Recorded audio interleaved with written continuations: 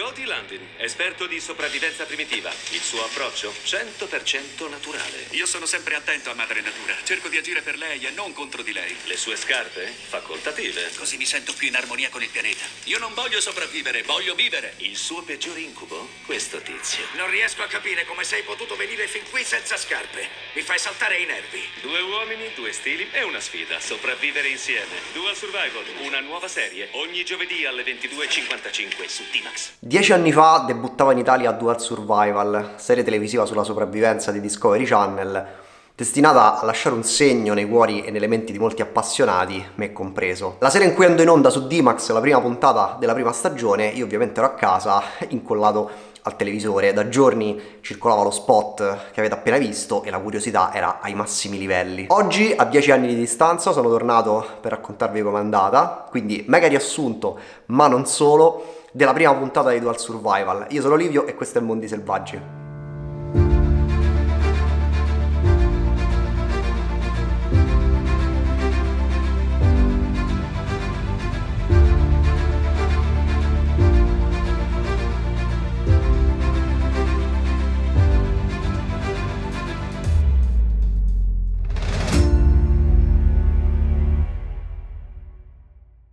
Sul finire del primo decennio del 2000 erano già diversi gli show a tema survival che erano passati per la tv e dei quali si discuteva anche sui forum italiani. C'era Bushcraft di Ray Mears, Ray Mears che aveva condotto programmi televisivi in Gran Bretagna fin dagli anni 90. Si parlava di Survivor Man, lo show in prima persona di Les Stroud, ma si parlava anche e soprattutto di Bear Grylls. Con Bear Grylls la sopravvivenza diventa mainstream, il suo programma riscuote un incredibile successo e nello stesso tempo una valanga di critiche grazie al suo stile decisamente spettacolare e a tratti anche esagerato. Ricordo che vidi per la prima volta delle sequenze dello show di Bear Grylls all'interno di un programma che si chiamava Wild Oltre Natura condotto da Fiammetta Cicogna su Italia 1 sarà stato più o meno il 2010. Comunque avevo già sentito parlare di lui, alcune delle sue imprese erano già diventate virali su internet. Lui che se magna la palla di insetti, lui che sventra il cammello, estrae le viscere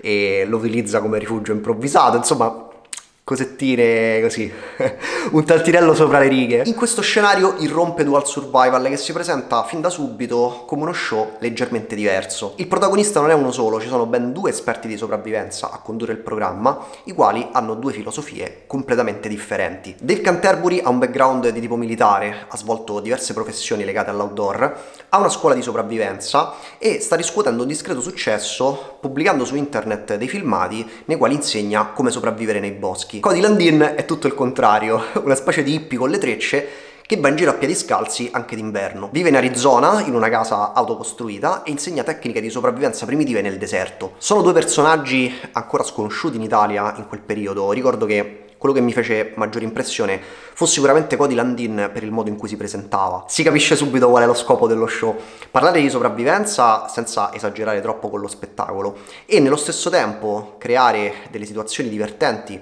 per lo spettatore, andando a giocare proprio sull'enorme differenza di vedute che c'è tra Dave e Cody, i quali inevitabilmente andranno a bisticciare nel corso della sfida. Trovo che Dual Survival sia un programma veramente ben riuscito, almeno per quanto riguarda le prime due stagioni. Io sono del parere che qualunque sia l'argomento trattato non si debba prendere ad esempio gli show televisivi perché sono prodotti pensati per l'intrattenimento con tutto ciò che ne consegue. Devo ammettere però che Dual Survival è un programma dal quale si può effettivamente imparare qualcosa perché è molto equilibrato, eh, c'è poca spettacolarizzazione e le nozioni che vengono presentate sono a mio avviso nozioni che possono effettivamente tornare utili anche in una situazione reale. Se vogliamo parlare del fattore intrattenimento, secondo me il programma fa centro anche lì. La coppia Canterbury-Landin funziona alla grande, i siparietti che si creano tra i due sono sempre divertenti e nonostante ci siano divergenze in merito alle strategie di sopravvivenza da adottare eh, di volta in volta, non si arriva mai ad uno scontro, non si arriva mai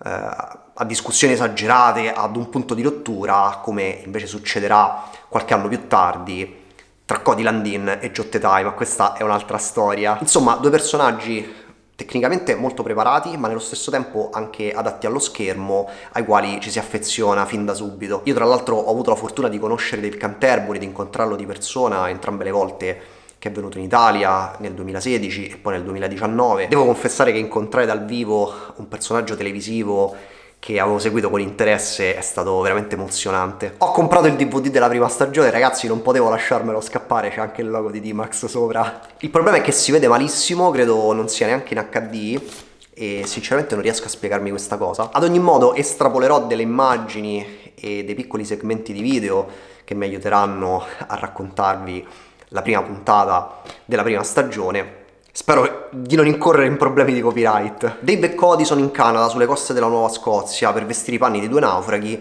e mostrare come si sopravvive in una situazione del genere. Dopo aver abbandonato una barca in avaria a bordo di una zattera di salvataggio, approdano su un'isoletta deserta. È gennaio, fa un freddo cane e gli unici oggetti che hanno a disposizione, a parte la zattera stessa, sono un coltello, un telo di plastica, una coperta in mylar e una pistola lanciarazzi con un solo colpo in canna. Voglio fare un gioco con voi ragazzi molto semplice. Immaginate di trovarvi nei panni dei beccodi, nella situazione che vi ho appena descritto, e di avere a disposizione gli stessi oggetti che hanno loro. Qual è la prima cosa che fareste? Stoppate un attimo il video e scrivetemelo qui sotto nei commenti. Dopodiché andiamo avanti. In una situazione di sopravvivenza bisogna darsi delle priorità, in sostanza bisogna chiedersi qual è il pericolo più imminente, cos'è che può uccidermi più rapidamente, e iniziate a difendersi da quella cosa lì. In una situazione come quella in cui si trovano i nostri eroi, il nemico numero uno è sicuramente il freddo. Con temperature sotto lo zero e condizioni meteorologiche avverse si può morire di freddo nel giro di poco tempo, quindi la priorità è togliersi dalla spiaggia e trovare un riparo. Dave e Cody entrano nella boscaglia e cercano un riparo naturale un qualcosa che sia il più possibile già pronto in modo da risparmiare tempo ed energie. Il sole sta per tramontare e prima che faccia buio devono pensare anche a come accendere un fuoco che in combinazione con rifugio gli permetterà di passare la notte in sicurezza. Trovano un albero caduto, le cui radici formano una specie di tettoia. Non è proprio il massimo, ma decidono di fermarsi lì. Dave, che indossa le scarpe e quindi può muoversi più agevolmente, si occupa di trovare della legna asciutta, mentre Cody, che ha scelto di partecipare alla sfida indossando solamente dei calzoncini e dei calzettoni di lana inizia ad allestire il campo. È tutto fradicio, quindi di accendere il fuoco per frizione non se ne parla, l'unica opzione rimane quella del razzo di segnalazione, ma se la rischiano perché dura poco, hanno un solo colpo a disposizione e hanno per le mani solamente legna umida. Alla fine ci riescono perché sono dei super fighi. Segue un simpatico siparietto in cui due discutono della scelta di Cody di presentarsi scalzo alla sfida, dopodiché tutti a dormire. Il mattino dopo fa ancora più freddo e la situazione resta critica. I nostri amici si dividono i compiti.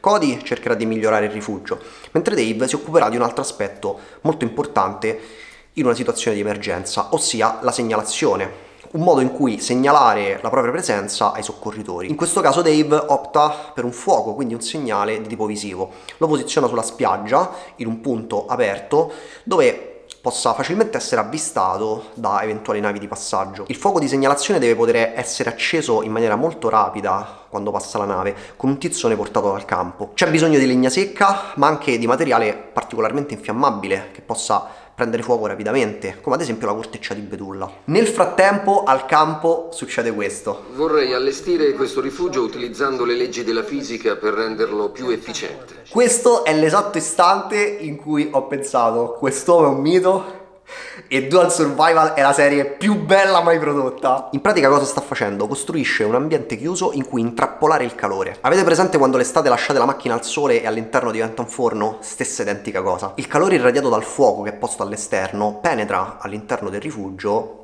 attraverso il telo di plastica trasparente e una volta che viene riflesso dalla coperta di Mylar non riesce più ad uscire. In questo modo si ha un rifugio caldo con un dispendio di legna minimo. Questo è uno dei tanti esempi di idee molto interessanti che possono essere estrapolate da questo programma. Adoro quando mi fanno vedere come oggetti semplici possono essere utilizzati in maniera funzionale alla sopravvivenza, in questo caso alla prevenzione dell'ipotermia. Una delle cose che più mi diverte di questa prima puntata, ma che poi ritroveremo anche nelle puntate successive, è l'enorme differenza che c'è tra Dave e Cody. Non solo come scuola di pensiero, ma anche, come posso dire, all'atto pratico. Cody si muove praticamente a rallentatore, lui risparmia le energie, si adatta. Dave eh, fa cataste di legna, raccoglie cose, prepara le esche, recupera materiale dalla scialuppa, trova dell'acqua potabile, la raccoglie. Miliardi di cose, tutte a cannone. Vogliamo parlare del cibo? dell'approccio che questi due hanno nei confronti del cibo in una situazione di sopravvivenza. Cody mangia i molluschi, Dave utilizza quegli stessi molluschi come esca per le sue trappole. Fantastico. Cody mangia anche le alghe comunque. Arriva la sera del secondo giorno, momento della cena, succede più o meno questo. Abbiamo delle fantastiche vongole biologiche! Fanno schifo, io voglio la carne! Dave non è soddisfatto dei molluschi, per cui decide di allontanarsi dal campo con il buio per andare a controllare se per caso qualche animale è caduto nelle sue trappole. Per fare luce improvvisa una torcia utilizzando la pagaglia e un rotolo di corteccia di betulla. È una scelta abbastanza azzardata in una situazione come la loro. E Cody non è affatto contento. Mm, per niente. Che vuoi fare? Rischiare la tua incolumità? E il mio culo? Per andartene a fa***ulo in questa notte buia a controllare le tue trappole del c***o? Dave si avventura comunque nella notte, ma le trappole risultano essere vuote, quindi ritorna rapidamente al campo dove i due discutono nuovamente sull'opportunità di fare determinate scelte, sull'opportunità di correre determinati rischi in una situazione di sopravvivenza. Quando si fa l'ora di andare a dormire, Cody può finalmente dimostrare la validità del suo rifugio. Dave era scettico inizialmente, ma quando entra rimane colpito perché ci sono 22 gradi contro i meno 2 esterni. Si ricrede e ammette che quello è il rifugio invernale più caldo in cui abbia mai dormito. Mattina del terzo giorno, la temperatura è scesa di 10 gradi durante la notte e ha pure nevicato. Dave si mette subito sulle tracce di un porcospino e con un'azione un'azione rocambolesca riesce a catturarlo. Questa è forse la parte meno realistica di tutta la puntata. Io non mi ci vedrei proprio a correre appresso un animale in una situazione di emergenza, sia perché prima di morire di fame ce ne passano i giorni, sia perché sull'isola ci sono altre fonti di cibo, sebbene meno gustose. D'altra parte capisco pure che si tratta di uno show di sopravvivenza e si voglia parlare anche di caccia. C'è anche da dire che Dave Canterbury è un cacciatore esperto e quindi prima di mettersi a correre appresso a un porco spino sa valutare se la spesa vale l'impresa, perché la sopravvivenza si gioca su quello, le calorie fornite dalla preda devono ovviamente superare quelle spese per catturarla. Mentre Dave alle prese col roditore, Cody va ad accendere il fuoco di segnalazione sulla spiaggia. Si serve dell'infiorescenza della tifa come mezzo per trasportare letteralmente il fuoco da un punto all'altro. La tifa ha un'infiorescenza molto compatta che brucia come un tizzone, si possono utilizzare per fare la stessa cosa anche alcune varietà di funghi lignicoli, è una tecnica utilizzata fin dalla preistoria. I nostri eroi si ritrovano al campo base ed è la volta di Dave di stupire Cody con il porco spino pronto da cuocere sul fuoco. I due hanno finalmente qualcosa di sostanzioso da mettere nello stomaco, si abbracciano, consumano la carne e il cuore del porcospino e viva e viva, tutti felici e contenti. La mattina del quarto giorno i baldi giovani avvistano finalmente una nave della Guardia Costiera canadese e ne attirano l'attenzione con il fuoco e con il fumo. Siamo grandi, siamo super fighi, abbracci notevoli e si torna tutti a casa. E così si conclude la prima puntata di Dual Survival, uno show ragazzi che torno a ripetere a me è piaciuto tantissimo all'epoca e che piace tuttora. Fatemi sapere qui sotto nei commenti cosa ne pensate voi. Se siete degli appassionati di sopravvivenza fatemi sapere quale approccio preferite tra quello di Dave e quello di Cody e magari datemi dei suggerimenti per le prossime puntate. Ci si vede al prossimo appuntamento con Mondi Selvaggi. Grazie per essere stati con me.